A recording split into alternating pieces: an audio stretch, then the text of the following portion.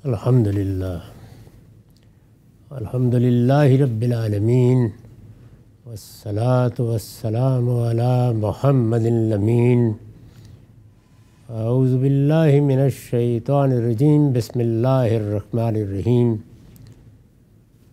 ख़वातीन हज़रात हम सूरह रात का मताला शुरू कर रहे हैं ये सूरह यूसुफ की तमाम सूरा है। दोनों सूरतों का तारफ़ इब्तदा में बयान कर दिया गया था। उसमें ये बात वाजह की गई थी कि मज़मून के लिहाज से दोनों का हदफ एक ही है।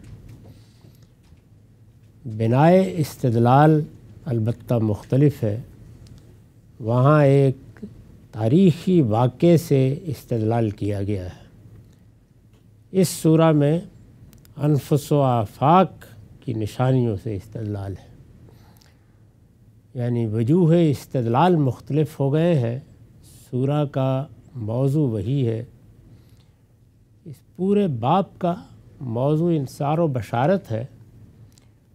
और ये बात भी वाज़ की जा चुकी है कि ये सूरतें मरहला इतमाम हजत की सूरतें हैं। यानी अब बात आखिरी मराहल को पहुँच रही है। इसलिए लब लहजा भी उसी तरह का है। सूरा शुरू होती है, बिस्मिल्लाहिर्रहमानिर्रहीम। अल्लाह के नाम से जो सरासर रहमत है, जिसकी शफ़क़त अबदी है। अलिफ्लाम मीम रा। तिल का आयातुल किताब, बल्लजी उनजिला इलैका मिर रब्बिकल हक़ वला किन अक्सर नासी ला युमिनून। ये सूरा अलिफ लाम मीम रा है। ये किताब इलाही की आयतें हैं। और तुम्हारे परवरदिगार की तरफ़ से जो कुछ तुम पर नाजिल किया गया है, वो सरासर हक है। मगर तुम्हारी कौम के अक्सर लोग मान नहीं रहे सूरा का नाम हरूफ मुक़त्तात की सूरत में है।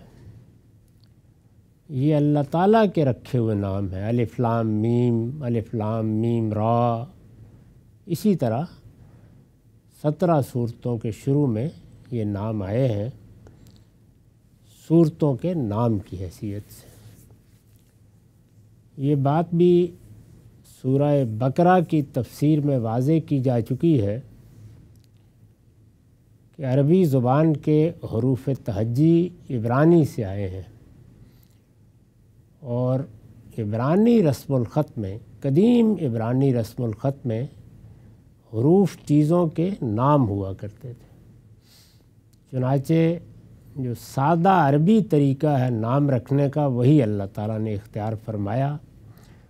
यानी सूरह बकरा का मौजू क्या है, मजमून क्या है? एक तवील सूरा है, उसमें इल्म हमत के दसियों मबास आए हैं। सूरा को अगर उसके मजमून के लिहाज से देखा जाए तो उसका उनवान एक, दो, तीन, चार, दस सूरतें हो सकती हैं। लेकिन सहाबा कराम का अरबी ज़ौक़ जब उसे नाम देता है तो वहाँ एक वाक़ बयान हुआ है गाय ज़बा करने का, जिसका मौजू से मजमून से कोई ताल्लुक़ नहीं तो लफ्ज़ बकरा से उसका नाम रख दिया सूरतुलबकरा ये बात भी तारीख़ी रवायतों में बयान हो गई है कि शुरू में ये नाम किस तरह पड़ा यानी सहाबा कराम एक दूसरे से जब इस सूरा का ज़िक्र करते तो ये कहते कि वो सूरा पड़ी है या वो सूरा ज़ेर बहस है या ये मामला उस सूरा में है, अल्लती ज़ुकरत फ़ील बकरा, जिसमें वो बकरा का लफ्ज़ आया है। उसी से सूरा का नाम पड़ गया। आल इमरान को भी देखिए। तो सूरतों में जहाँ जहाँ कोई नुमाया चीज़ मज़कूर है कोई ऐसा लफ्ज़ आ गया है जो तवज्जो को अपनी तरफ़ मबजूल करता है। मौजू से क्या ताल्लुक़ है, मजमून क्या है, वो ज़ेर बहस नहीं है। तो एक अलामत बना के अरब नाम रख देते थे आमतौर पर अल्लाह ताला ने बिल्कुल यही तरीका इख्तियार किया।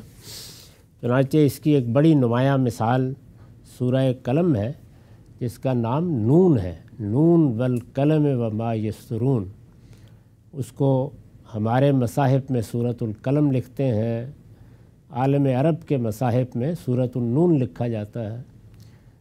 उसकी पैदाई इसी से हुई है नून, यानी हरूफ मुक़त्तात में से एक हरफ से नून मछली की सूरत में लिखा जाता था, इबरानी ज़ुबान में। लिहाजा अब भी अरबी ज़ुबान में मछली के मुख्तलिफ़ नामों में से एक नून भी है।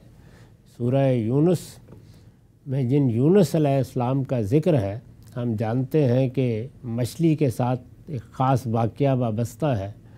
चुनाचे उनको एक जगह साहिबुलहूत कहा है, एक जगह जन नून कहा है, मछली वाला, उसी से सूरा का नाम रख दिया।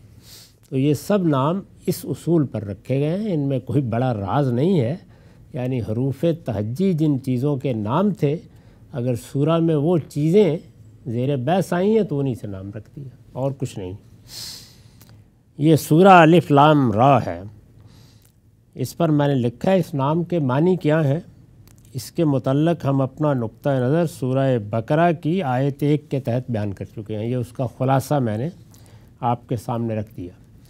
ये किताब इलाही की आयतें हैं। इस पर मैंने लिखा है, असल अल्फाज हैं तिल का आयातुल किताब। इनमें तिलका का इशारा अलिफ लाम मीम रा की तरफ़ है। यानी पीछे चूँकि एक पूरा जुमला तालीफ़ के लिहाज से बन गया है, यानी ये सूरा अलिफ लाम रा है। तो जुज़ की तरफ़ इशारा करते हुए कुल का ज़िक्र किया है, जो हमारी ज़ुबान में भी एक आम तरीका है। यानी किसी किताब का इकतबास पेश करते हैं या किसी किताब का कोई एक बाब नकल करते हैं तो कह देते हैं कि ये इकबाल की बांगे दरा है। ये गालिब का दीवान है। तो ये बिल्कुल वही उसलूब है। असल अल्फाज हैं, तिलका आयातुल किताब। तिलका इसमें इशारा है, जैसे ये, वो हम बोलते हैं। इनमें तिलका का इशारा अलिफ्लाम मीम, रा की तरफ़ है और अल किताब के मानी किताब इलाही के हैं। यानी अल किताब पर अलिफ्लाम है, जैसे अंग्रेज़ी ज़ुबान में आप दी किसी लफ्ज़ पर लगा देते हैं। इससे एक खसूस पैदा होता है और अहद वजूद में आ जाता है। यानी हम जहन में कोई मिसदाक रख कर लफ्ज़ बोलते हैं तो उस पर इस तरह अलिफ्लाम लगा देते हैं। अरबी ज़ुबान में, अंग्रेज़ी ज़ुबान में। दूसरा तरीका है, दुनिया की हर ज़ुबान में मुख्तलिफ़ तरीके हैं। तो यहाँ किताब पर अलिफ्लाम है। मुराद उससे क्या है? किताब इलाही। यानी वो किताब जो अल्लाह ने नाजिल की है, या अल्लाह नाजिल करता है, या अल्लाह ने नाजिल की है वो साक व सबाक के लिहाज से मालूम हो जाता है। कुरान में जगह जगह ये लफ्ज़ इस मानी के लिए इस्तेमाल हुआ है। यानी किस मानी के लिए? कि अल किताब बोल कर उससे किताब इलाही मुराद ली गई है। मैं अगर ज़िक्र कर रहा हूँ अपनी किताब का और उसमें अरबी ज़ुबान बोलते हुए, मैं ये कहता हूँ कि मेरी ज़रा किताब लाइए तो यहाँ किताब से बरात वही किताब होगी जिसका मैंने ज़िक्र कर दिया तो अब मैं मेरी के अल्फाज हसफ कर दूँगा और अल किताब का लफ्ज़ बोल दूँगा। ऐसे ही कुरान मजीद इस्तेमाल करता है। कुरान में ये लफ्ज़ जगह जगह इस मानी के लिए इस्तेमाल हुआ है और उसी तरीके पर इस्तेमाल हुआ है जिस पर कोई लफ्ज़ अपने मुख्तलिफ़ मफाहिम में से किसी आला और बरतर मफहम के लिए ख़ास हो जाया करता है। यानी सीवे की किताब का नाम ही किताब सीवे है। तो अब अगर नहवियों की मजलिस में ये कहा जाए कि ये चीज़ तो किताब में बयान हुई है तो उससे सीवे ही किताब मुराद होगी। यानी एक गैर मामूली किताब है, जिसके लिए ये लफ्ज़ अब ख़ास हो गया है। इसी तरह जिस वक्त हम मज़हबी मफहम में बोलते हैं या मज़हब पर गुफ्तु करते हुए बोलते हैं तो कहते हैं ना, किताब व सुन्नत। ज़ाहिर है कि वहाँ किताब से मुराद हर किताब नहीं है, बल्कि कुरान मजीद को किताब कहा जाता है। ये फ़िक्रा किस लिए इरशाद हुआ है? यानी ये जो फ़िक्रा है तिल का आयातुल किताब, ये किताब इलाही की आयतें हैं। उस्ताद इमाम लिखते हैं, इस फ़िक्रे में बैक वक्त इजहार एहसान भी है और धमकी भी। यानी वईद भी है और इजहार एहसान भी। एहसान ये है कि अल्लाह ताला ने वो अजीम नेमत, जिसका उसने अपने नबियों और रसूलों के ज़रिए से वादा फरमाया था, उतार दी। यानी इस लिहाज से ये एहसान का जुमला है, इम्तनान का जुमला है कि अल्लाह ताला ने वादा कर रखा हुआ था कि वो तुम्हारी हिदायत का अहतमाम करेगा। इससे पहली कौमों को ये हिदायत दी गई। उन्होंने इसको ज़ाय कर दिया। अब ये नागुज़ीर था कि अल्लाह ताला अपना वादा पूरा करे। चुनाचे ये उसका करम, उसकी इनायत है कि उसने ये किताब नाजिल कर दी और इस तरह तुम्हारी हिदायत का अपनी तरफ़ से अहतमाम किया है। कुरान मजीद दूसरी जगह पे वाज करता है कि अल्लाह की जो सबसे बड़ी नेमत इंसान को इस दुनिया में हासिल होती है, वो अल्लाह की हिदायत है। चुनाचे पैगंबरों के आने का मकसद ही ये बयान किया गया है कि वो एक तरफ़ इतमाम नेमत करते हैं, दूसरी तरफ़ इतमाम हजत यानी जो नेमत अल्लाह ताला ने हिदायत की नेमत, इंसान के अंदर वदीयत की है, वो उसको पूरा कर देते हैं, उसको पाए तकमील तक पहुँचा देते हैं। इसी तरीके से अल्लाह की हजत भी इंसानों पर मुख्तलिफ़ ज़राए से पूरी हो रही है, वो उसको भी इतमाम तक पहुँचा देते हैं। यही दोनों मकसद हैं जिनको सामने रख कर अल्लाह ताला अपने पैगंबर भेजता है। एहसान ये है कि अल्लाह ताला ने वो अजीम नेमत जिसका उसने अपने नबियों और रसूलों के ज़रिए से वादा फरमाया था, उतार दी है। अब ये लोगों का फ़र्ज़ है कि इसकी सिद के दिल से कदर करें। यानी इम्तनान ज़ाहिर है, महज इम्तनान के लिए नहीं होता, बल्कि किसी बड़े नतीजे की तरफ़ तवज्जो दिलाने के लिए होता है। तो वो बड़ा नतीजा क्या है कि लोगों को चाहिए कि वो इस किताब की अहमियत को पहचानें, इस नेमत की कदर करें और सिद्ध के दिल से कदर करें और इसकी बरकतों से मतमत्ते हों। अल्लाह ताला ने जो बरकतें इसमें रखी हैं, ज़ाहिर है वो इल्म की बरकतें हैं, अमल की बरकतें हैं नतज की बरकतें हैं वो बरकतें जो इस किताब में रखी गई हैं, जिसकी वजह से ये बयान किया जाता है कि किताब ना हो इले का मुबारक यानी मुबारक किताब है बाबरकत किताब है। ये किताब तुम्हारे बातिन के खलफशार को भी दूर करती है, तुम्हारी ज़िंदगी के हकायक तुम पर वाज करती है, तुम्हें एक वाज हदफ और नस्बैन देती है, दुनिया की ज़िंदगी के बारे में उलझनों को साफ़ कर देती है, रास्ता मुतन करती है और मंजिल तक गोया हाथ से पकड़ के पहुँचा देती है।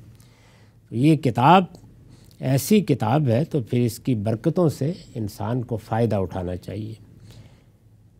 धमकी का पहलू ये है, यानी ये तो इम्तनान का पहलू है, एहसान का पहलू है।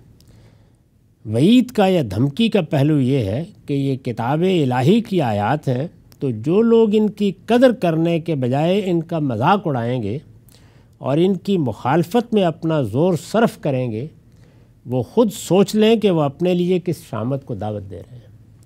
यानी अल्लाह ताला नेमत देता है तो दुनिया की नेमतें किसी अमल के सिले में नहीं मिल रही होती। कि दे दी हैं, दे दी हैं तो बस अब रहेंगी। जैसे कि जन्नत की नेमतों के बारे में फरमाया है कि वो दायमी है, वो कभी ख़त्म नहीं होंगी। और वो जजाम बेमा का सबू है।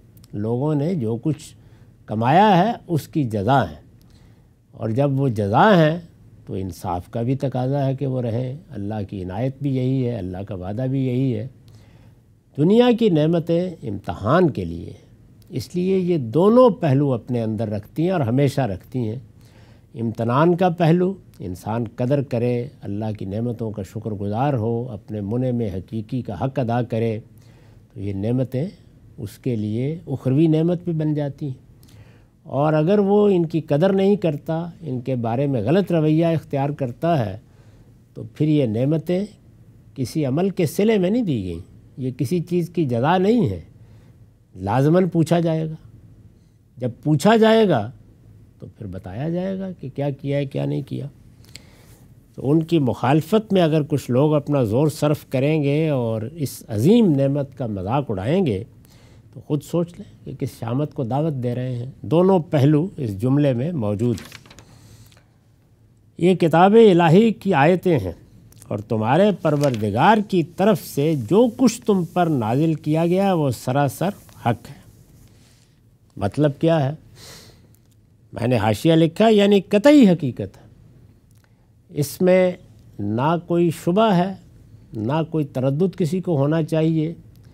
वो दलाइल मौजूद हैं जो पैगंबर के गिरदो पेश अल्लाह ताला ने जमा कर दिए हैं, वो आखिरी दर्जे में वाजे कर देते हैं कि ये पैगंबर अपनी तरफ़ से कोई बात नहीं कह रहे, बल्कि अल्लाह का पैगाम है जो पहुँचा रहे हैं। और अल्लाह ताला ने ये अहतमाम किया है कि पैगाम मफहूम या मुद्दा के लिहाज से नहीं दिया या उसूल देकर उसके इतलाक़ की ज़िम्मेदारी पैगंबर पर नहीं डाली, बल्कि ख़ुद अपने अल्फाज में उसको नाजिल किया है। और अपने अल्फाज में नाजिल किया है तो एक दूसरी रियायत भी मलहूज रखी है कि जो लोग मुखातब हैं, उनकी ज़ुबान उनकी ज़ुबान का मरूफ उसलूब और मुबीन ज़ुबान वाज ज़ुबान में वो बात उनको बताई जाए। उसमें कोई कज पेश ना हो, उसमें कोई ऐसी चीज़ ना हो कि जिसमें एक आम आदमी उतर ही नहीं सकता, या वो उसकी मुखातबत को समझ ही नहीं सकता। लोगों के फ़हम को पेश नज़र रख कर ऐसा उसलूब इख्तियार किया गया है कि वो इल्म के सच्चे तालब इलमों के लिए अपने अंदर बेपना अजायब रखता है। लेकिन आम सुनने वालों के लिए पैगाम पहुँचाने की हद तक आखिरी दर्जे में बली, यानी कोई उसमें कज पेच ऊँच नीच पैदा नहीं होती। तो कतई हकीकत है, उसमें किसी रैब गुमान की गुंजाइश नहीं है। जैसे अल्लाह ने बयान कर दिया है, वैसे ही।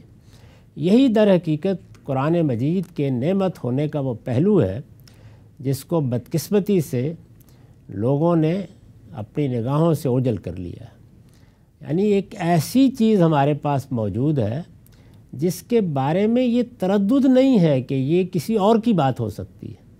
इसमें इंसान के फ़हम को दखल हो सकता है। इसमें इंसान के पहुँचाने के अमल में कोई चीज़ मुदाखलत करने वाली बन गई है। यानी पूरे इत्मीनान के साथ हम कह सकते हैं कि हमारे परवरदिगार की बात ख़ुद उसके अपने अल्फाज में, एक ज़िंदा ज़ुबान में लिखी हुई, बोली हुई हमारे घर में मौजूद है, हमारे पास मौजूद है। हमें जब दीन के मामले में कोई मुश्किल पेश आएगी, या दीन की कोई बात हम नहीं समझ पाएँगे, या दीन से मुतलक जो चीज़ें पैगंबर के हवाले से, पिछले पैगंबरों के हवाले से, सालहीन के हवाले से, बड़े मुफक्रीन के हवाले से हम तक पहुँचेंगी, हम उनका जायज़ा ले सकते हैं, देख सकते हैं कि उनमें क्या हक और क्या बातिल है। हमारे पास एक कसौटी मौजूद है। अब ये नहीं हो सकता कि कोई आए और आकर हमें सोना दिखाकर पीतल बेच जाए। जो आएगा, उसको अपने आप को इसी मैार पर पेश करना होगा और हम इस पर परख कर बता देंगे क्या चीज़ काबिल कबूल है, क्या चीज़ काबिल कबूल नहीं है। इस लिहाज से देखिए तो हिदायत के बाब में इससे बड़ी कोई नेमत हो सकती। यानी इंसान अगर हर लहजे अल्लाह का शुक्र अदा करे कि उसको इस तरद्दुद में अल्लाह ताला ने नहीं पढ़ने दिया कि ये हमारे पादरी साहब हैं, ये मौलवी साहब हैं, ये फ़लाँ आलिम हैं। इन्होंने कोई तहकीक फरमाई है, पता नहीं सच है, पता नहीं हक है, क्या चीज़ है, क्या नहीं है। नहीं, जो कुछ भी बताएँगे, अगर इस किताब की तरफ़ रजू करके मालूम हो जाएगा कि उसमें कोई गलती है तो हम पूछेंगे, सवाल करेंगे। हमारे पास एक मैारी चीज़ मौजूद है, जो हमें बता देगी कि क्या चीज़ सही है, क्या गलत है। तो ये पहलू है जिसको यहाँ बयान किया है कि ये बिल्कुल कतई हक है, ये सरासर हक है। और इतनी बड़ी नेमत है, अल्लाह ने दी है वला किन अक्सर ना से ला मगर तुम्हारी कौम के अक्सर लोग मान नहीं रहे। यानी होना तो ये चाहिए था कि वो इसको एक नेमत के तौर पर लेते, इसको उसी हैसियत से कबूल करते, इसका इस्तकबाल करते, अल्लाह का शुक्र अदा करते कि 2000 साल के ज़माना फ़तरत के बाद उसने ये नेमत नाजिल कर दी है। मसीह इस्लाम तो यहूद के यहाँ आए। इन लोगों के लिए वो उस ज़माने के हालात के लिहाज से देखें तो एक अजनबी शख्सियत थे। लेकिन ख़ुद इनके अंदर अल्लाह का आखिरी पैगंबर आ गया और उस पैगंबर ने आकर ये किताब पेश कर दी। इनसे कोई अजर नहीं मांगा, कोई सलाह नहीं मांगा। मुतालबा क्या है? यानी ये कि तुम इन हकायक पर गौर करो और ये हिदायत अल्लाह ने उतार दी है, इसकी रोशनी में अपने अमाल का जायज़ा ले लो। लेकिन लोग इसके लिए तैयार नहीं हुए। तो फरमाया कि वला किन्ना अक्सर अन्ना से लायुमिनून अफसोस का मुकाम ये है कि तुम्हारी कौम के अक्सर लोग मान नहीं रहे अल्लाजी रफ़ा समावत बग़ैर अमदिन तरौनहा सुमस्तवा अलर्श व सखर शम्स कमर कुल्लु यजरी अजल मुसम्मा। युदब्बिरुलम्र युफस्सिलुल्लायात लअल्लकुम बिलिक़ाए रब्बिकुम तूक़िनून सुबहान अल्लाह तमहीद की बात बयान फरमाने के बाद अब इस्तदलाल शुरू कर दिया मैंने तारफ़ में बताया है कि मजमून मुद्दा वही है जो सूरह यूसुफ का है फ़र्क बिनाए इस्तदलाल में है वहाँ बिनाए इस्तदलाल एक तारीख़ी वाक़ है एक तारीख़ी वाक़ जो कम बेश पूरी सूरा का अहाता करता है। कुरान मजीद में बहुत से तारीख़ी वाक़ात से भी इस्तलाल किया जाता है, जैसे मसलन सूरह आराफ है, उसमें अब कई तारीख़ी वाक़ात सुना दिए गए हैं। यहाँ एक ही सरगुजश्त है और वो सैदना यूसुफ़ की सरगुजश्त है, वो सुनाई गई है और उसमें कई हकायक वाजे किए गए हैं। यानी लोगों को किन चीज़ों पर गौर करना चाहिए, सीरत व किरदार के क्या पहलू होने चाहिए, इस कशमकश का क्या नतीजा निकलना है इस तरह की कश्मकश बर्पा क्यों होती है? अल्लाह ताला अपने नेकोकार बंदों को भी इतने इम्तहानों आजमाइशों में क्यों मुबतला कर देते हैं? नतज कैसे निकलते हैं? क्या चीज़ें उनके पेश नज़र होती हैं? रवैयों में इंसान के अहदाफ क्या होने चाहिए? रद्द अमल की नौीयत क्या है? बुराई रहेगी और वह अपने घर से पेश आ जाएगी। हसद बहुत बड़ी बुराई है, बुग्ज़ और कीना पैदा कर देता है।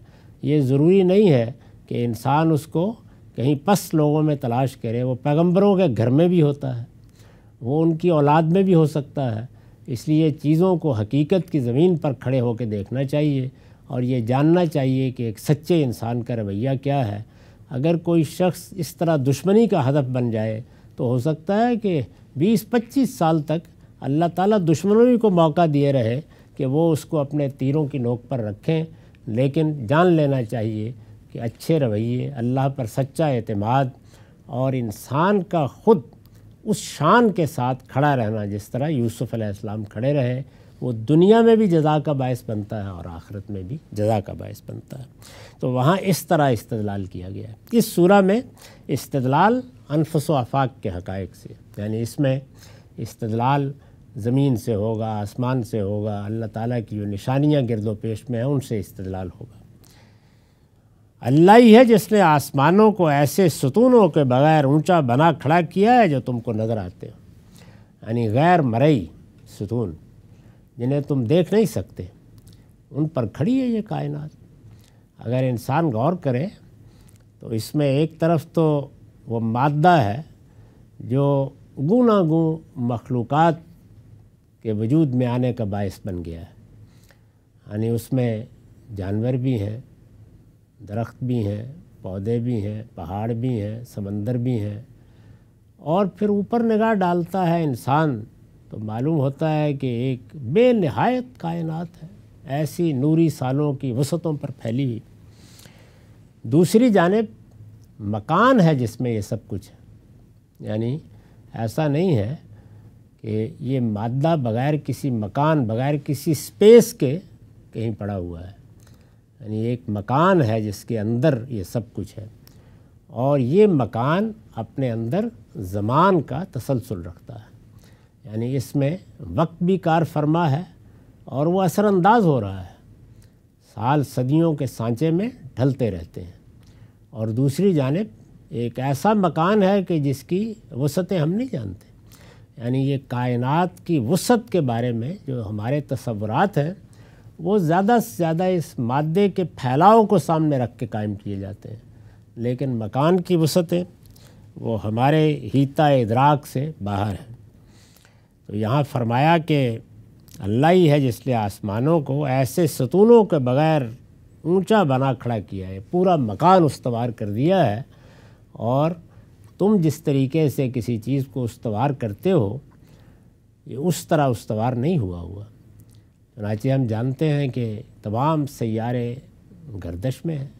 सूरज गर्दश में है, चाँद गर्दश में है, ज़मीन गर्दश में है।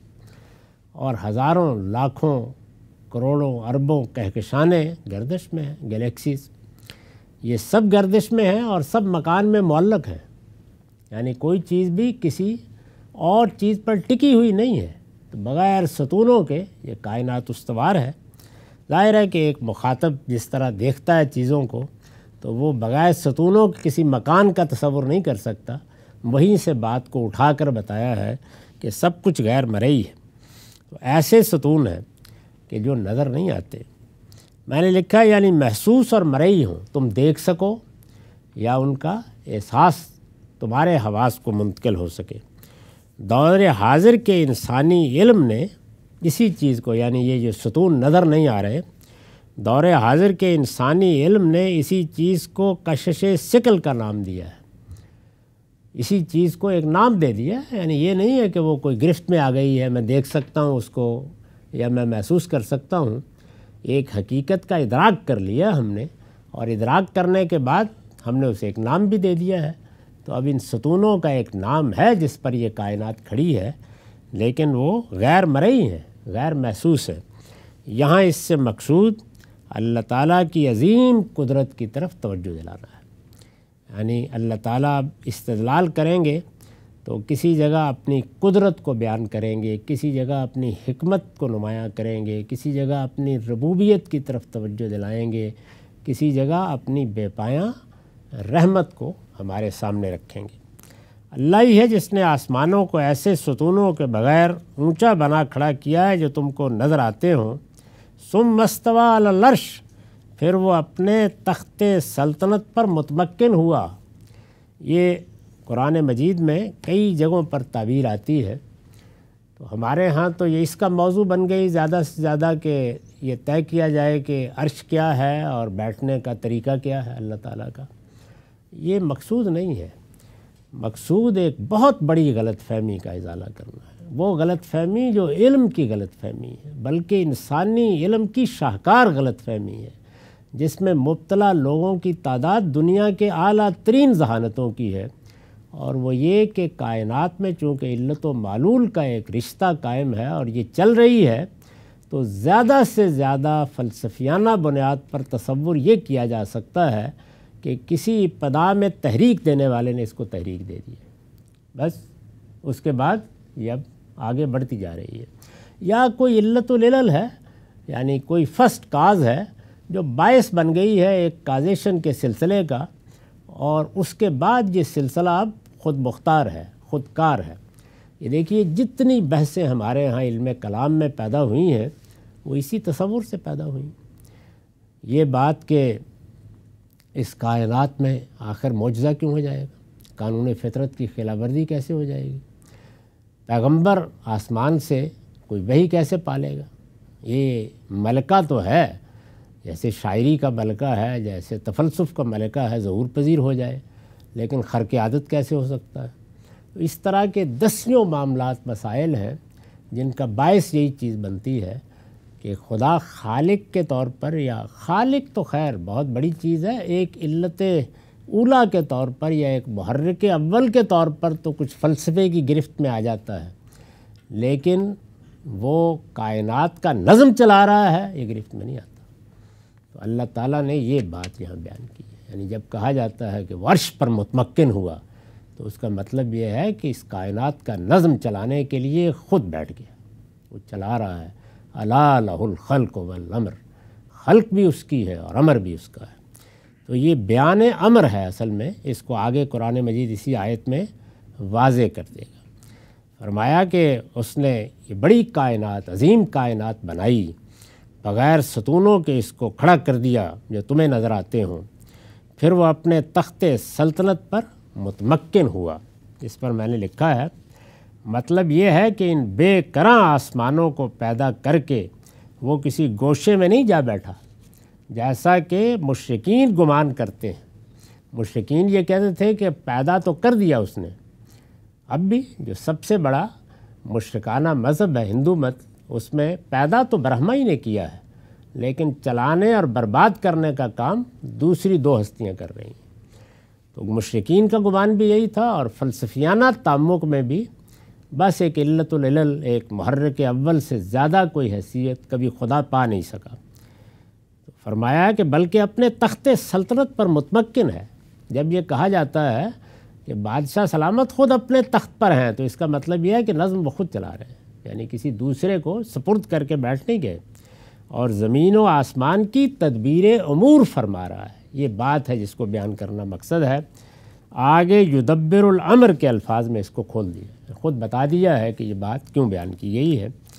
इसमें अल्लाह ताला की जिन आयात का ज़िक्र हुआ है, एक एक चीज़ शर वजाहत का तकाजा करती है। हमारा वक्त ख़त्म हो गया। वकूल कौली हाजा वस्तफ़रल्ला जी वलकुम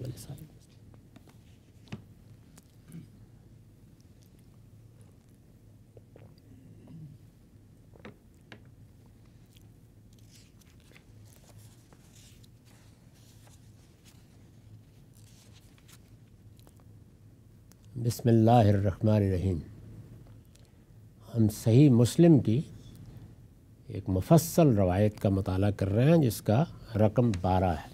इसका कुछ हिस्सा हमने पढ़ लिया। ये बात वाजे की जा चुकी है। एक शख्स ने आकर रसूलुल्लाह सल्लल्लाहु अलैहि से कुछ सवालात किए हैं। सहाबा की मजलिस में आया है, लोगों के सामने आया है।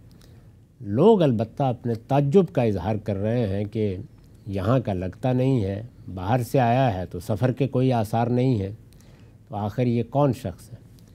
फिर उसने सवाल पूछे हैं और सवाल पूछने के बाद खुद ही तस्दीक भी की है। जब आपने जवाब दिया तो उसने ये कहा है कि आपने सही फरमाया।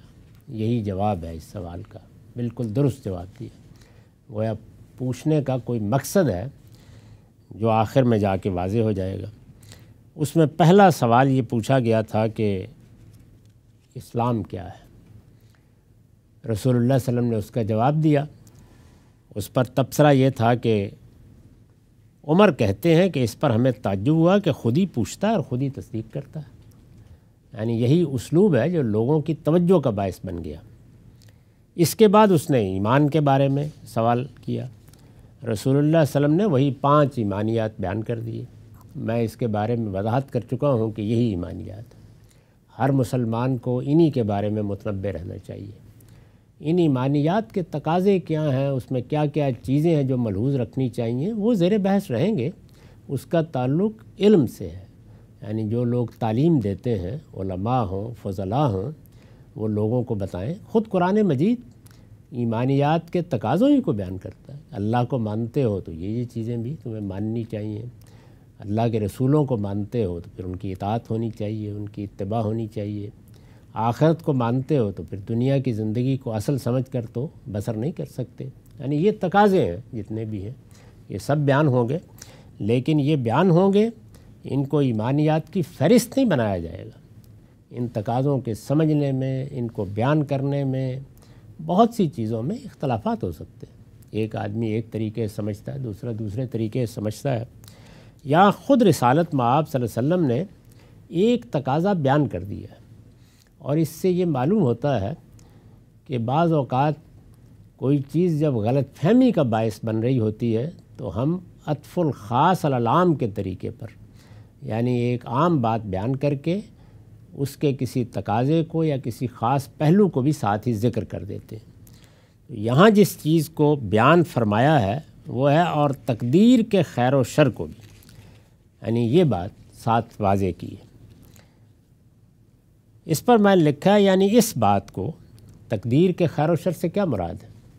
यानी इस बात को कि जो भलाई या बुराई भी इंसान को पहुँचती है कुरान मजीद में ये जो कदर का लफ्ज़ है, ये इसके लिए इस्तेमाल होता है।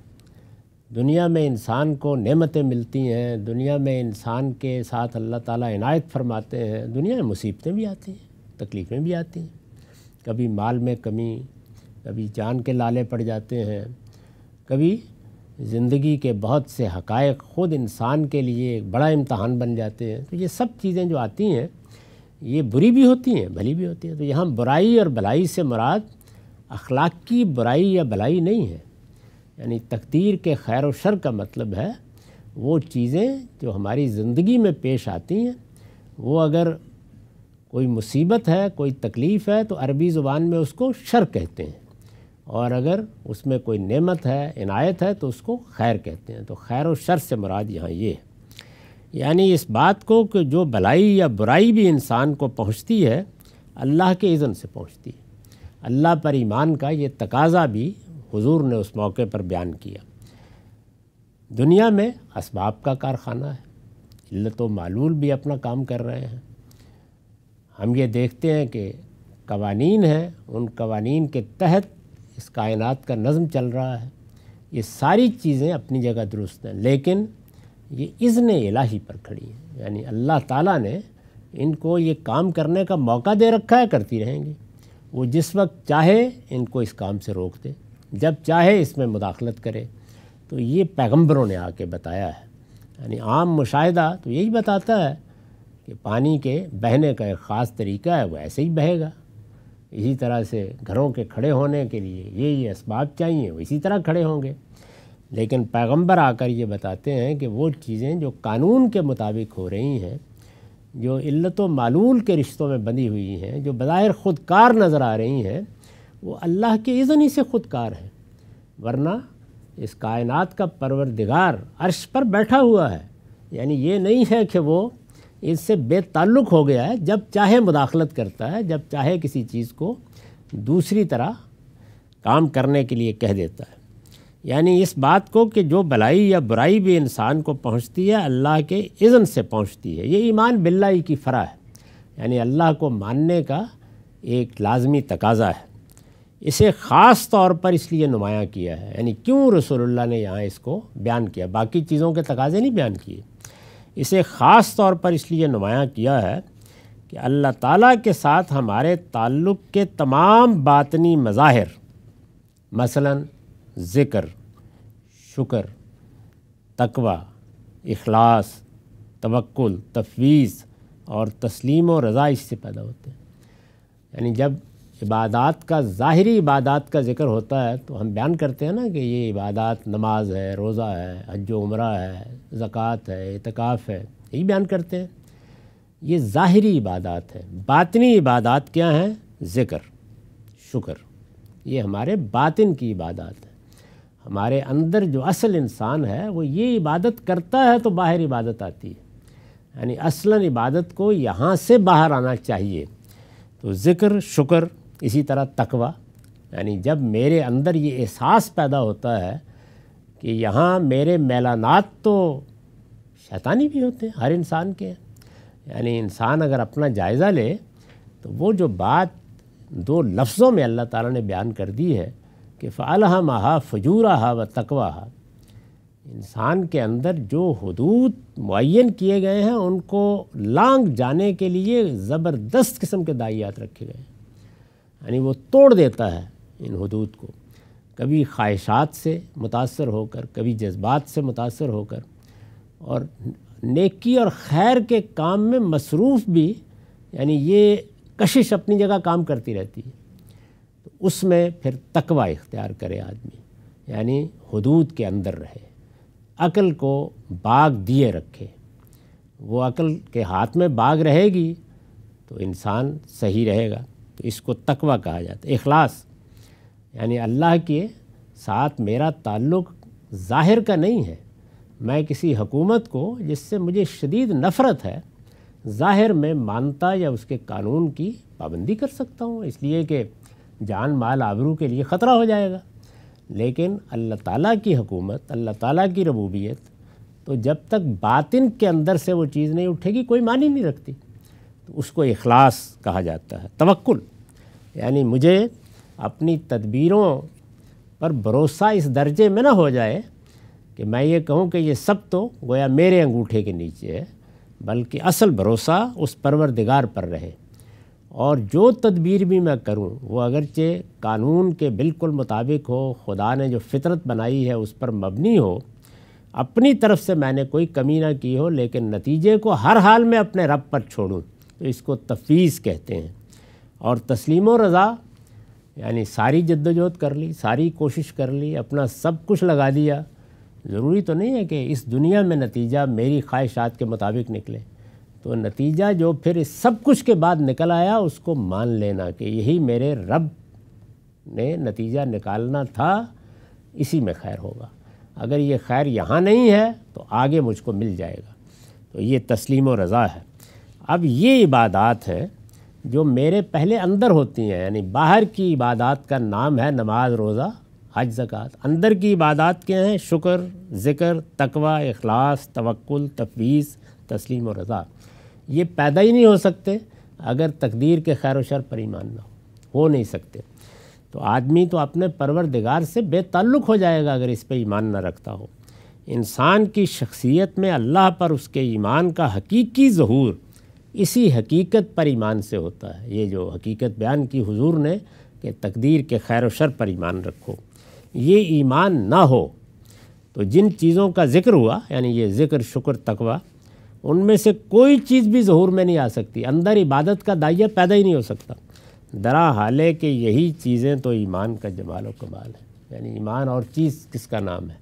कोई चीज़ मान के कहीं रख देने का नाम है या दस्तावेज़ में लिख देने का नाम है, इसी चीज़ का नाम ईमान है और इसका जहूर इससे होता है। तो ये मैंने ये अर्ज़ किया कि रसूलुल्लाह सल्लम ने ईमान का जवाब देते वक्त ये एक जायद जुमला क्यों फरमाया उस मौके के ऊपर? हमारा वक्त ख़त्म हो गया। वाखिर दान अलहमदिल्ला रबालमीन अब दस मिनट का वक्फ़ा है, इसके बाद सवालों की नशस्त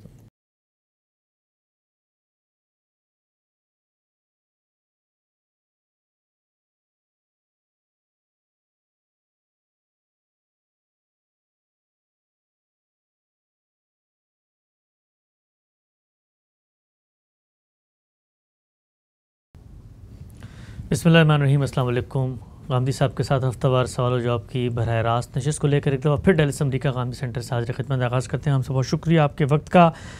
दीन की दावत कैसे दी जाएगी? दावत दीन और उसका तरीक़ाकार दावत सीरीज़ की आज चौथी नशस्त है। आगाज़ करते हैं हम सब।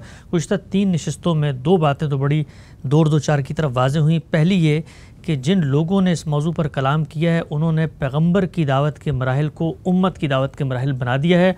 और दूसरा नुकता जो गुज्तर नशस्त में बड़ी खूबी से खान साहब ने वाजे किया था, बहुत सारे सवाल उठा के वो ये कि पैगंबर का इंतखब, उसकी ज़िम्मेदारी, उसके ऊपर तंबी का मामला, उसके साथ अल्लाह की तायद और नुसरत और जजा सज़ा, ये सब कुछ इस नौीयत का होता है कि आम लोगों के साथ नहीं हो सकता। गोया ये सवाल भी सामने आता है कि पैगंबर के ऊपर जो दावत की ज़िम्मेदारी है, वो आम आदमी की दावत की ज़िम्मेदारी अमला हो नहीं सकती।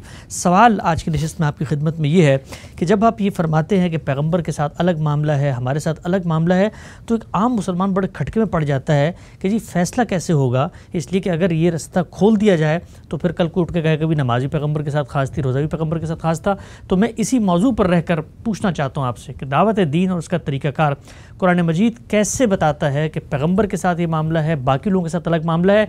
इसी से हमें समझने का भी मौका मिलेगा कि जब ये चीज़ें तखसीस और तयन होती है तो होती कैसे? ये सवाल अभी कबल वक्त है?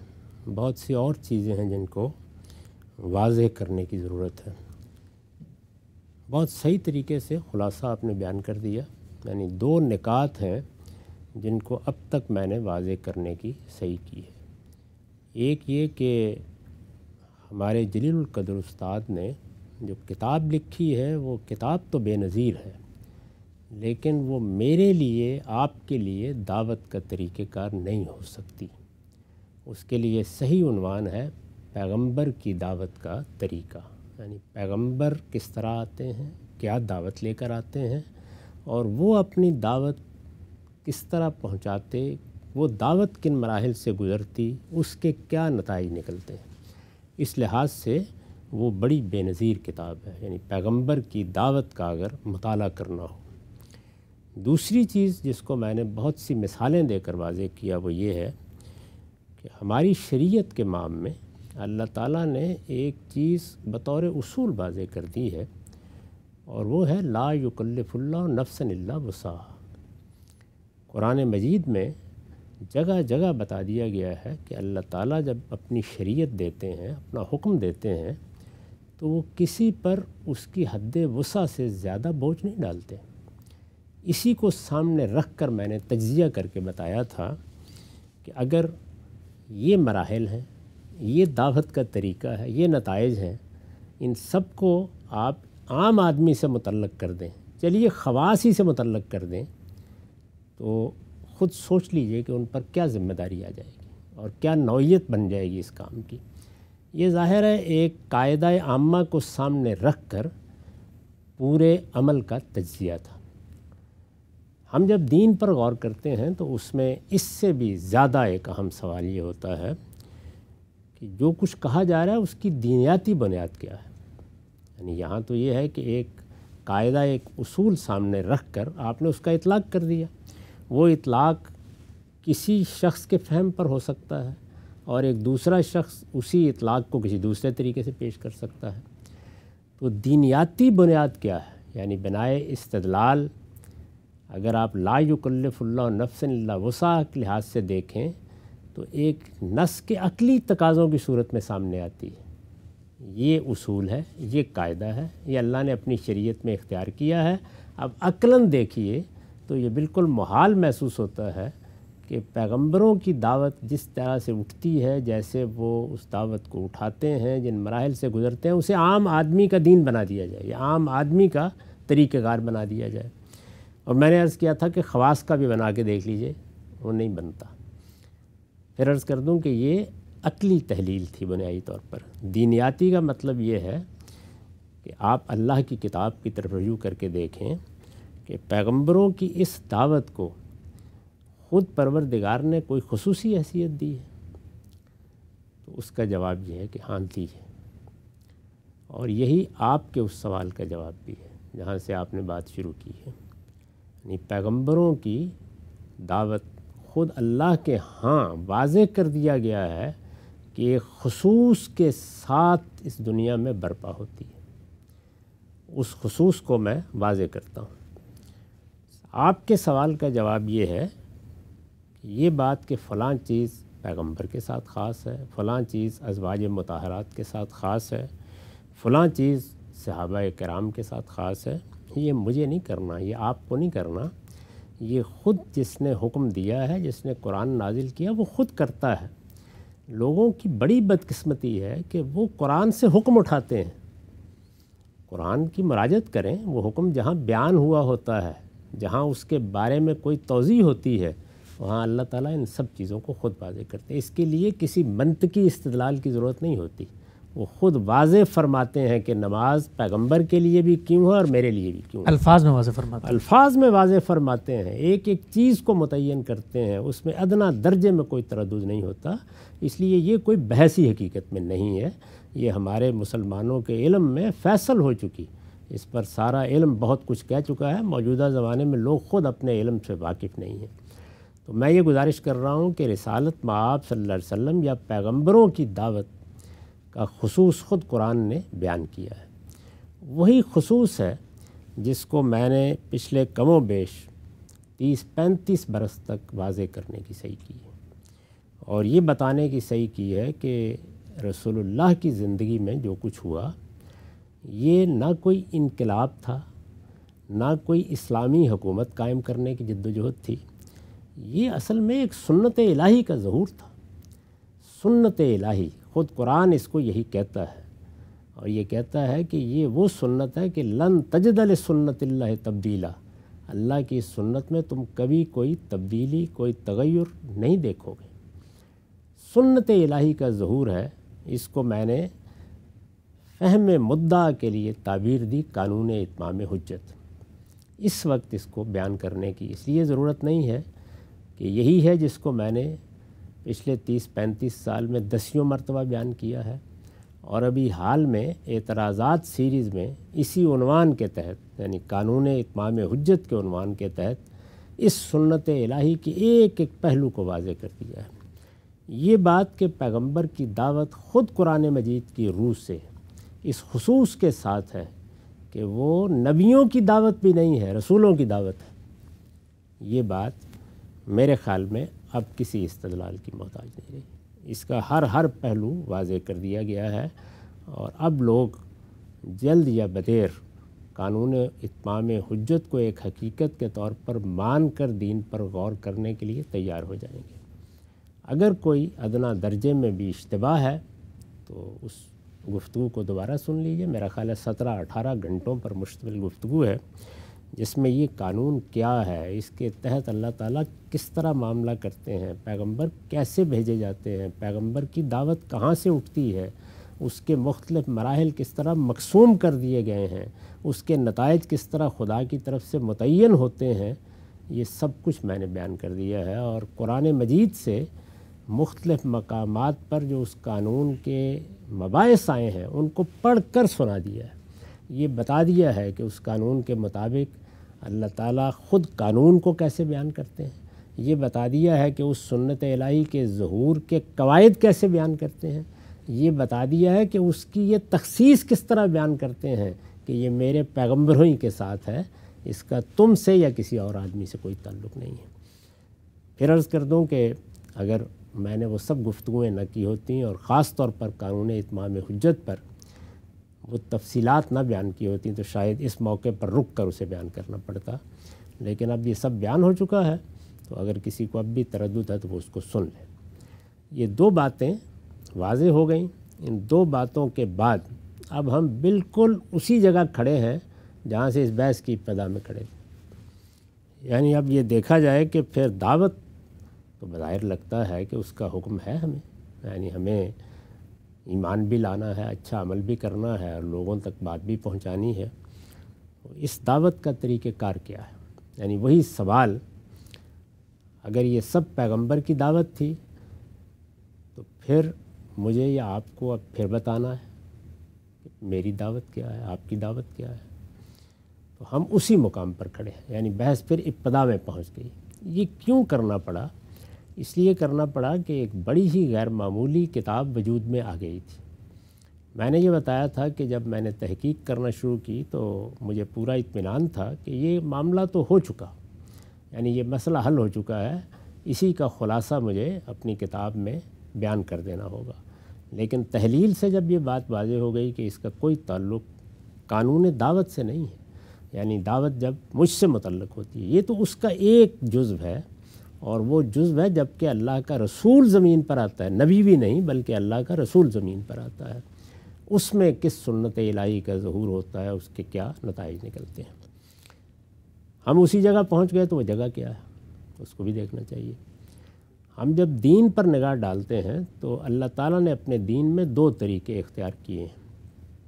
एक तरीका ये है कि वो एक हदफ, एक नस्बुलैन मुतन कर देते हैं एक उसूल वाजे कर देते हैं, उसका तरीक़ेकार इंसानों पर छोड़ देते हैं। क्यों छोड़ते हैं? इसलिए कि वो चीज़ें बिलमूम सियासत, मीशत, माशरत और समाज से मतलब होती हैं। और सियासत, मीशत, माशरत और समाज, ये किसी दौर में बंद नहीं किए जा सकते। इसमें तदबीर भी अगर इख्तियार करनी है तो बाद अवत सदियों में जाकर वो तदबीर ही फ़हम इंसानी में आती है। तो अल्लाह ताला यहाँ ये तरीका इख्तियार करते हैं। मैं इसकी चंद मिसालें दे देता हूँ। सियासी मामला में एक बड़ा मसला है कि हुकूमत कैसे कायम होगी। पुराने ज़माने में लोग किसी शख्स को बहुत जरी और हौसलाबंद देखते थे। वो अपने जथे के साथ या अपनी ताकत से उनको हिफाजत फराहम कर सकता था तो हुक्मरान बना लेते थे उसको। और फिर उसके बाद ये समझते थे कि इस हुकूमत में इस्तेकाम इसी तरह होगा कि एक कबीले की असबियत भी इसको हासिल रहे और इसी की औलाद में आगे ये सिलसिला चलता रहे। रोज़ रोज़ का इंतशार नहीं गवारा किया जा सकता। इसलिए ये बात दुरुस्त नहीं है कि मलूकियत ऊपर से आई है। ये ख़ुद इंसानों की मर्ज़ी से पैदा हुई है। ये भी इंसानों ही के रजामंदी का एक मामला था। अल्लाह ताला ने इस मसले में रहनुमाई फरमाई और ये कहा कि मुसलमानों की अब एक नई जमात वजूद में आई है मोहम्मद रसूलुल्लाह की बेसत हो गई है। दुनिया को भी एक नए दौर में दाखिल होना है। तो इसमें अब ये जो मुसलमानों की जमात वजूद में आ गई है, इसका नज़म या नज़म सियासी या नज़म इज्तमाही किस कायदे पर होगा?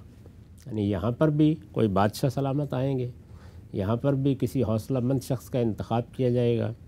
यहाँ पर भी अल्लाह ताला आसमान से वही फरमा के मलिक तालूत का तकर कर देंगे, क्या होगा? तो फरमाया कि अमर हम शूरा बहना, यानी तुम्हारे मामला तुम्हारी राय, तुम्हारे मशवरे पर मबनी होंगे। चंद बातें वाजे कर दी उसमें, यानी तुम्हारे तमाम इज्तमाही मामला ऐसे ही होंगे। सबकी बुनियाद राय और मशवरे और शूरा पर होगी, और उसमें राय देने में सबके हकूक़ बराबर है, इसलिए कि अमर हम शूरा बैना हम है। कोई तखसीस उस पर आयद नहीं की। ये उसूल हो गया, कायदा हो गया, हदफ भी हो गया, हमें यहाँ तक पहुँचना है। इसका तरीक़ेकार क्या होगा? यानी राय कैसे लें, मशवरा कैसे लें, उससे हुकूमत कैसे कायम करें, उस हुकूमत में इस्तेकाम कैसे पैदा हो? दसियों सवालात। वो दसियों सवालात में से किसी एक का जवाब भी नहीं दिया। बल्कि हम पर छोड़ दिया। तुम जाओ और जाकर इसके उसूल जबते मुकर करो। ये हमारा काम है कि वहाँ तरीक़ेकार हम तय करेंगे। यानी जो आपने कभी कानून के मबास पढ़े हों तो एक कानून होता है और एक उसका प्रोसीजरल लॉ होता है। यानी कैसे उस कानून का नफाज होना है, उसमें क्या तरीक़ेकार होगा, वो अल्लाह ताला ने यहाँ छोड़ दिया। कोई किसी किस्म की चीज़ भी इससे आगे नहीं कही। पूरे कुरान मजीद में फिर चंद उसूली बातें कही हैं, लेकिन ये कि तरीक़ेकार नहीं बताया गया, छोड़ दिया गया। हालात क्या होंगे, उनमें क्या तब्दीली आएँगी, लोगों का शौर क्या होगा, उसके लिहाज से जो चीज़ें होंगी उनको तय कर लिया जाएगा। ऐसे ही देखिए, मीशत के बाब में एक उसूल बयान कर दिया, कायदा बयान कर दिया। ला ताकुल अम्बालकुम बैनकुम बिल बातिल। यानी अक्लुल बिल बातिल नहीं होना चाहिए। बातिल क्या चीज़ है, उसकी वजाहत नहीं की। उसको भी इंसानी फितरत पर छोड़ दिया है। वो फैसला कर लेगी। इसमें भी अगर आप देखें तो चंद चीज़ें हैं जिन पर ख़ुद इतलाक़ फरमा दिया। जैसे सूद का मामला हुआ, जैसे जुए का मामला हुआ। बाकी दसियों चीज़ें हैं जिनको छोड़ दिया। और अगर कोई मामला पेश आया तो रसूलुल्लाह वसल्लम ने कोई चीज़ उसके बारे में फरमा दी, वरना आज भी ऐसे मामला पे दर पे पेश आते हैं। इंश्योरेंस एक कायदे के तौर पर आ गई, एक पूरा इंस्टीट्यूशन बन गई, बैंकारी एक पूरा इंस्टीट्यूशन बन गई तो ये हम बहस कर रहे हैं, क्या करना है, क्या नहीं करना। इसलिए कि इसमें कोई इतलाक़ की चीज़ नहीं बताई गई। एक उसूल, एक हदफ बता दिया गया, चंद अहकाम दे दिए गए। इससे ज़्यादा कुछ नहीं किया गया। इसकी बहुत सी मिसालें दी जा सकती हैं। मीशती के बाब में बड़ी नुमाया मिसाल है। ये बड़ी बहस है हमारे यहाँ भी कि कैपिटलिज़म होगा, सोशलिज़म होगा। उसमें एक बड़ी गैर मामूली बात कही है सूरह हशर में, और वो ये कि कौमी अमलाक, निजी मलकियत में नहीं जानी चाहिए। उसूल बयान कर दिया नहीं जानी चाहिए तो उनका बंदोबस्त कैसे होगा? नहीं जानी चाहिए तो उसके लिए क्या तरीके इख्तियार किए जाएँगे? इन सब चीज़ों को फिर हम पर छोड़ दिया। तो एक उसूल ये मालूम हुआ कुरान मजीद से कि बारह ऐसा होता है कि अल्लाह ताला एक बात कर देते हैं और बाकी मामला इंसानों पर छोड़ देते हैं। चुनाचे दावत के मामले में भी ये बात कही जा सकती है कि अल्लाह ताला ने ये बताया कि दीन की दावत दो। ये ज़िम्मेदारी मालूम हो गई। दीन हमें पहुंचाना चाहिए, जो अल्लाह ने हिदायत हमें दी है, वो हम में से हर शख्स को दूसरों तक पहुंचानी चाहिए। लेकिन पहुँचाने के लिए तरीक़ेकार क्या होगा? मैं अपने लिहाज से तय कर लूँगा, आप अपने लिहाज से तय कर लेंगे। सोसाइटी ने भी किसी वक्त तय करना होगा तो अपने लिहाज से तय कर लेगी। गोया अल्लाह ताला ने सवाल का जवाब ये होगा कि इस मामले में वो तरीका इख्तियार किया है जो अमर हम, शूरा बैन में इख्तियार किया यानी एक हिदायत दे के बाकी मामला इंसानों पर छोड़ दिया गया है, वो चाहेंगे तो अपने लिए कोई तरीका आज ईजाद कर लेंगे, कल उसमें कोई तब्दीली कर लेंगे और वो ख़ुद तय करते रहेंगे कि इसमें ज़िम्मेदारी को अंजाम देने के क्या तरीके हो सकते हैं। इसकी मिसालें मैंने दे दी कि वो मौजूद हैं, दीन में ये तरीका भी इख्तियार किया जाता है। अगर आप पीछे मुड़ के देखें तो उस्ताद इमाम अमीन हसन इसलाई की किताब से पहले हमारे इल्म का अमूमी रुझान यही है। यानी दावत बता दी गई है, तरीका खुद देख लें। तय कर लें अच्छा। चुनाचे तरीक़ेकार की रवायतें भी उस तरह मौजूद नहीं हैं कि वो ज़रिया बन जाती। मैंने इशारा किया था कि आप फ़िका की कोई किताब उठाएँ उसमें किताब तहारा भी है उसमें किताब सलात भी है किताब ज़क़़त भी है किताब रोया भी है मालूम नहीं क्या क्या है लेकिन किताब दावा कहीं नहीं। है किताब दावात है दुआओं की किताब लेकिन दावत तबलीग की कोई किताब नहीं। हदीस की किताब उठा लें कोई किताब उठा लें। आपको कोई चीज़ नहीं मिलेगी उसमें। यानी अगर कोई दावत से मतलब हिदायत हैं भी तो वो मुख्तलिफ़ अबाब में यहीं बिखरी हुई कहीं मिल जाएँगी आपको, लेकिन ये कि बाकायदा किसी बाब में नहीं है। तो अमूमी रुझान यही बन गया कि दावत के बारे में उसूली बात कह के हम पर छोड़ दिया गया। हम जो तरीक़ेकार उसमें चाहें इख्तियार कर लें। एक तरीका अल्लाह ताला ये इख्तियार करते हैं यानी इस चीज़ में कोई तरद नहीं होना चाहिए कि ये कर किया तो क्यों किया? करते हैं बहुत सी चीज़ों में, मैंने उसकी मिसालें दे दी। दूसरा तरीका क्या है? दूसरा तरीका ये है कि वो ऐसा नहीं करेंगे, बल्कि बताएँगे कि ये मैंने हुक्म दिया है, इस पर अमल ऐसे करना है। चुनाचे नमाज़, रोज़ा, इबादत में देखिए, एक एक चीज़ की तफसील बताई एक एक चीज़ को मुतन किया है। यहाँ तक कि उसमें रुख्सत कैसे होनी है, उसके लिए अगर कोई मुश्किल पेश आ जाए तो क्या तरीका इख्तियार करना है, उसमें रिजालन और रुकबाना कैसे होना है, हर हर चीज़ का जवाब दिया है। रोज़े को देख लें।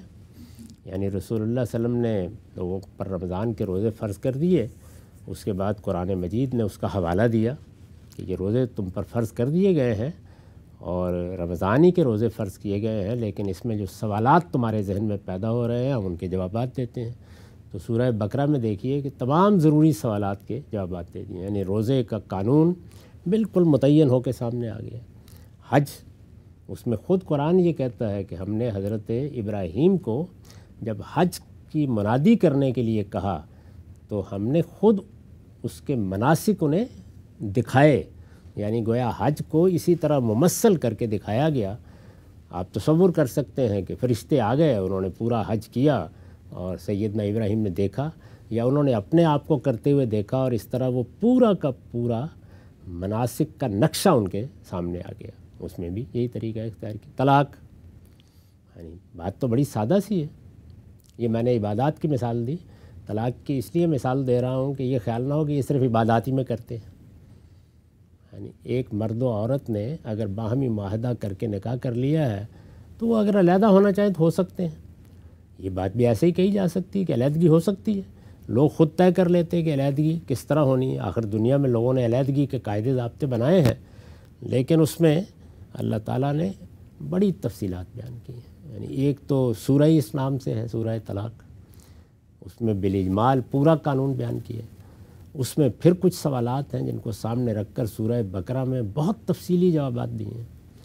बेवा औरतों के मामला रज़ात के मामला हजानत के मामला इद्दत के मामला यानी गोया एक एक चीज़ को उसमें वाज फरमाया है।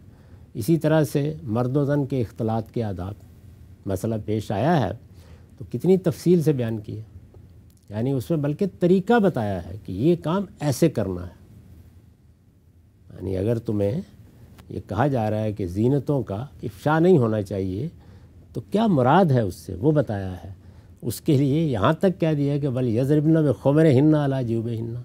यहाँ तक कह दिया है कि वो जो पाजेब पहनी हुई है, उसके मामले में ये एहतियात करनी है। तो बहुत तफसील के साथ गोया इतलाक़ कानून बयान किया। इसका मतलब हुआ कि अल्लाह ताला के यहाँ वो तरीका भी होता है, अल्लाह ताला के यही तरीका भी होता है। तो सवाल फिर वहीं रह गया कि क्या अल्लाह ताला ने इस मामले में वो तरीका इख्तियार किया है या ये तरीका इख्तियार किया है? फिर मैंने ज़ाहिर है कि जब कुरान मजीद को इस जाविये से बहुत तफसील के साथ पढ़ा तो ये वाज हुआ कि अल्लाह ताला ने इसमें दूसरा तरीका इख्तियार किया। यानी ये नहीं किया कि अमर हम शूरा बैना हम की तरह एक उसूल बयान कर दें या एक हदफ मुतन कर दें और उसके बाद तरीक़ार हम पर छोड़ दें। नहीं, इसमें सब सवालों का जवाब दिया है। तरीक़ार को भी बड़ी तफसील से बयान किया है।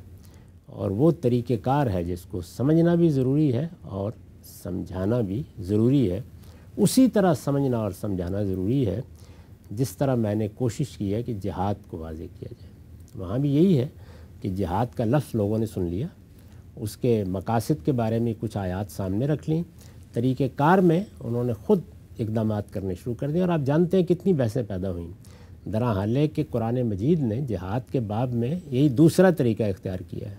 और आप देखिए कि एक एक जगह उसकी गायत तक ख़ुद मुतन की है।